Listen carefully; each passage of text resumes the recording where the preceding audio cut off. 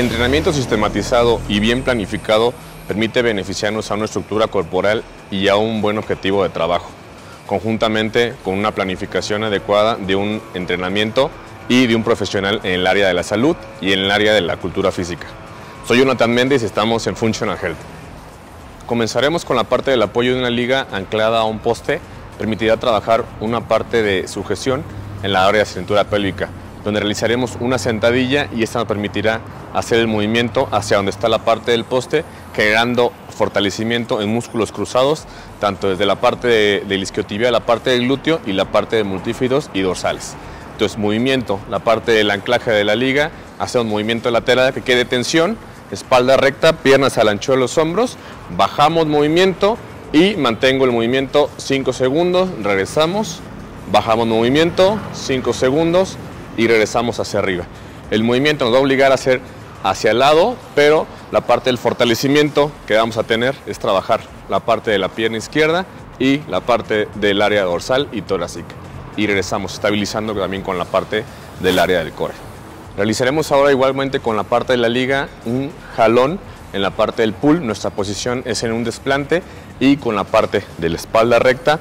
El otro brazo mantenemos bien pegado a la parte del cuerpo. Hacemos jalón hacia atrás, a la parte de la cadera, manteniendo el movimiento, generando tensión en la parte de la liga y fortaleciendo el área dorsal, la parte del core, la parte de los multífidos y la parte de la pierna, estabilizando. 5 segundos, regresamos hacia enfrente, generamos movimiento hacia enfrente de la parte del hombro, que la espalda se mantenga recta y jalamos nuevamente. 5 segundos y regresamos al área adelante. Mantenemos la posición de desplante, una pierna en 90 grados y la otra pierna apoyada atrás también en 90 grados.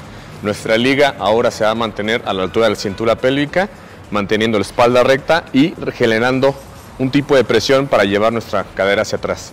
Lo que tenemos que realizar es hacer movimiento de brazos arriba, extender la parte de la cintura pélvica adelante para fortalecer la parte del psoas ilíaco de la pierna que está abajo y relajar la parte del de la, lado que está hacia arriba. Movimiento hacia atrás, movimiento hacia adelante. Fortalecemos cintura pélvica, psoas ilíaco, 5 segundos mantenemos, regresamos de 12 a 15 repeticiones por lado. Continuamos igual con la parte de la liga, la colocaremos a la altura de la muñeca, generando una posición de push-up, una posición de plancha, donde las piernas se mantendrán extendidas, la parte del abdomen recto, y lo que realizaremos con la mano que está con la liga, realizar un movimiento de frente para generar un impulso del área del músculo cruzado, generando fortalecimiento tanto en la parte del hombro, en la parte dorsales y la parte del movimiento cruzado del pie contrario anclamos la parte de la mano en la muñeca con la liga por enfrente para que nos permita hacer el movimiento. Espalda recta, generamos movimiento hacia enfrente, regresamos. Trato de que nuestra liga no me jale. Lo que tenemos que prevenir es hacer el jalón hacia adentro, sino mantener por enfrente. Igual, misma posición, voy hacia enfrente, un segundo, regreso posición. Hacia enfrente, un segundo y posición hacia enfrente.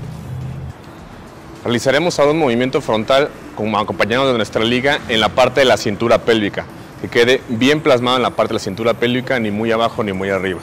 Realizaremos un movimiento hacia adelante con un desplante hacia atrás, en posición de carrera, subimos y empujamos la parte de la cintura pélvica, generando un desequilibrio, pero manteniendo la parte de propiocepción.